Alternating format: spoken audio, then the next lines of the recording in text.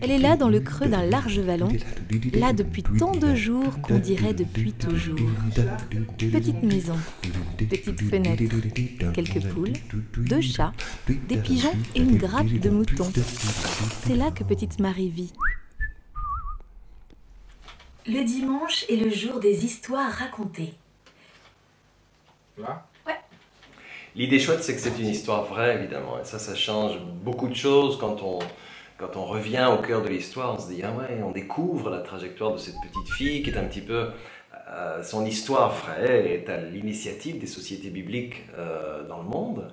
Euh, c'est une histoire qui se passe il y a plus de, de 200 ans. Mais la réécrire aujourd'hui, c'est réinventer son imaginaire. Mais en sachant que c'est une histoire vraie, je trouve ça, ça rajoute toujours quelque chose.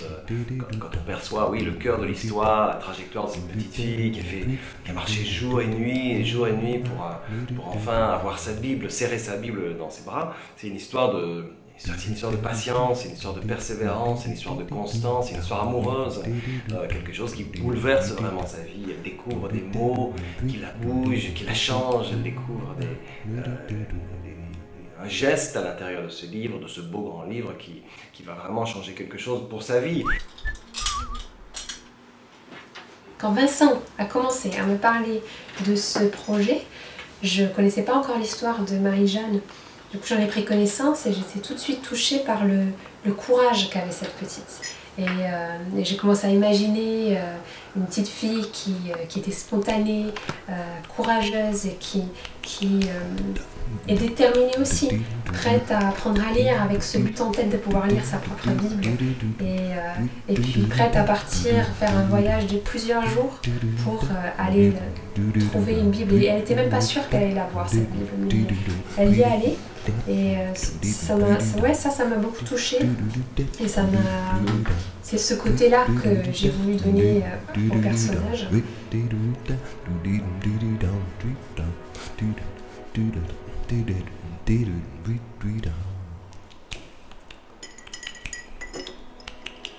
Hop, debout. C'est le soleil qui vient chatouiller le nez, puis les fines oreilles, puis le coude et le bout nu des petits pieds. Marie se sent toute vivante ce matin. La fatigue d'une journée entière à marcher et courir et marcher a cessé ce matin de siffler son refrain. Marie se sent toute fraîche. J'ai utilisé surtout des aquarelles euh, avec, euh, avec quelques aplats, mais surtout des petits, en les utilisant avec plus des détails. Euh, et, et puis j'ai utilisé des feutres aussi, des feutres fins pour, pour pouvoir faire des petits motifs. L'envie était de se dire, tiens, en demandant à Élise de, de travailler sur des illustrations euh, qui soient euh, très qui, soient, qui, qui ne soient pas illustratives vraiment, mais qui invitent à un autre voyage dans le, le récit. Le récit étant, évoque hein, ce- cette, euh, cette trajectoire dans, dans tout ce qu'elle ressent, la, la- la- la fille, euh, au- au-dedans d'elle-même. C'est comme, un- comme Élise l'a joliment illustré, un fil tendu à l'intérieur de ce qu'elle euh, découvre, euh, à travers ses histoires, de, de ce que ces mots commencent à, au moment où elle apprend à lire, à écrire, ces mots commencent à lui raconter quelque chose.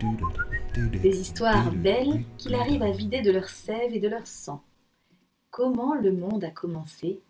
Comment les choses soudain sont? Tournage de page. Ah,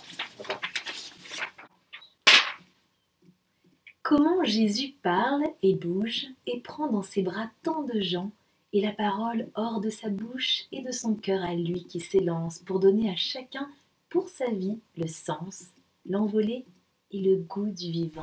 J'ai eu envie ensuite de, de- de demander à, Laurence de, raconter l'histoire, parce que je me disais, ce serait bien qu'il y ait une voix, euh, une voix euh, sur, ce, ce récit, qui soit la voix d'une, jeune femme, c'est-à-dire que cette voix ouvre un, imaginaire, fasse vibrer quelque chose de l'âme d'enfant un petit peu. Euh, on a, le livre, on a la, voix qui glisse à l'intérieur du livre, et on a le voyage que les illustrations d'Élise euh, offrent, qui permettent d'ouvrir vraiment l'imaginaire très large et de se dire voilà, c'est l'histoire de quelque chose qui bouge à l'intérieur d'une petite fille. Son cœur bat pour quelque chose qu'elle découvre à partir de cette découverte qu'elle fait de la lecture, de l'apprentissage de la lecture, de l'apprentissage des mots, la beauté qu'il y a dans tous ces mots qu'elle va découvrir, tous les mots du beau grand livre.